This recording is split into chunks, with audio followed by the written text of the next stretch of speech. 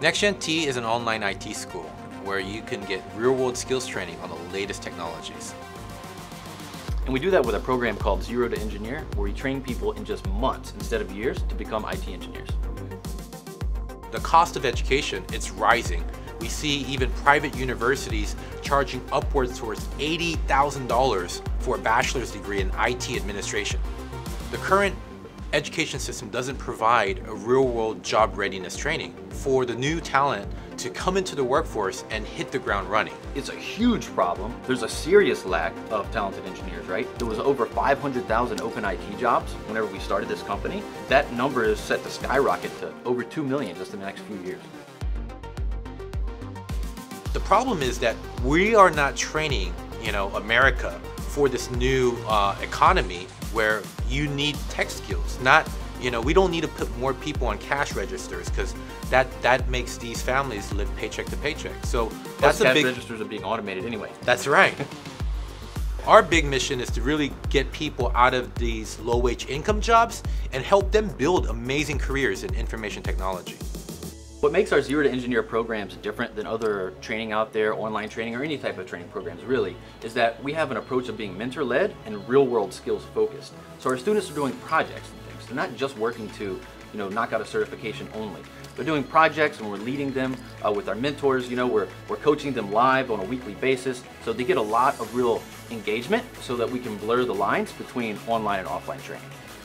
So ultimately, we're reinventing the way certification is done because Yeah. it's so legacy. And At the we're entry level, big At the entry level, big time. And we're creating a new process to really certify them that matches and aligns with employer needs. When the students go into these projects, they really feel like they can reach out to the mentors at any time. They're part of these live calls. They get all the help and support they need to be part of these masterminds, to work on their lab guides, to work on with other students and, and collaborate. So it's a very immersive experience, you know, really from start to finish throughout the program. So to me, it's really about, like, I love the technology too. The job is actually really fun.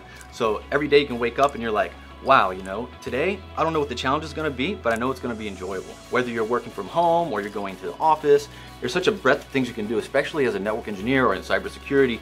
You know, you're not just sitting behind a screen and coding and typing away. You're doing a little of that, but you're also doing designs. You're also going out and talking to people. You're fixing things and you're saving the day. So it's really a very fulfilling job that can also be lucrative. We've helped students land jobs at companies like Google, Samsung, Riot Games, T-Mobile, Home Depot. I mean, some amazing companies.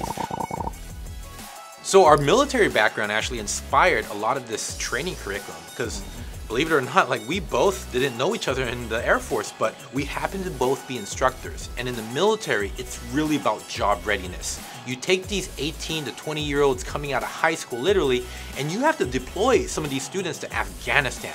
Imagine setting up communications for the battlefield. The training actually fundamentally changes. It's not about that plaque or that diploma anymore. It's about can this student perform this task?